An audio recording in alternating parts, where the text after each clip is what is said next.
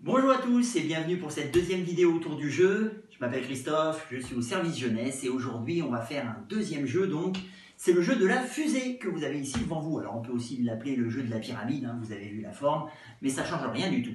Pour jouer à tout ça, eh ben, je vais appeler Alès.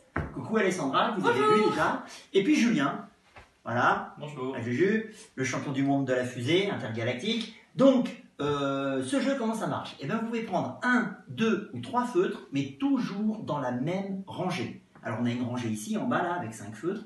Donc, si on prend, on prend que ici.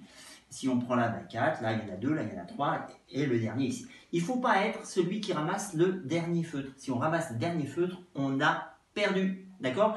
Alors après, pas plus de 3 dans la même rangée, on peut en prendre qu'un, on peut en prendre que deux, on peut en prendre jusqu'à 3, mais pas plus, et toujours dans la même rangée, une rangée, deux rangées, trois rangées. Ok? D'accord. Alors vous êtes prêts? Oui. Oui. Serrez-vous la main, attention c'est officiel, et c'est parti, honneur aux dames, Alès tu commences. Allez.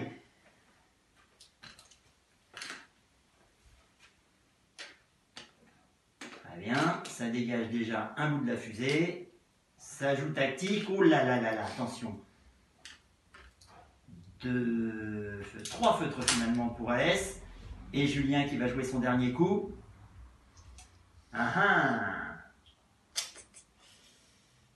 Allez, tant pis. On prend deux. Alès qui en prend deux. Et Julien obligé de ramasser le dernier feutre. Donc là, tu perds cette partie, Julien, mais c'est pas grave. J'espère que vous avez compris chez vous comment ça marche. Et puis, ben, toute partie appelle une petite revanche. Donc, je vous laisse refaire la fusée ici.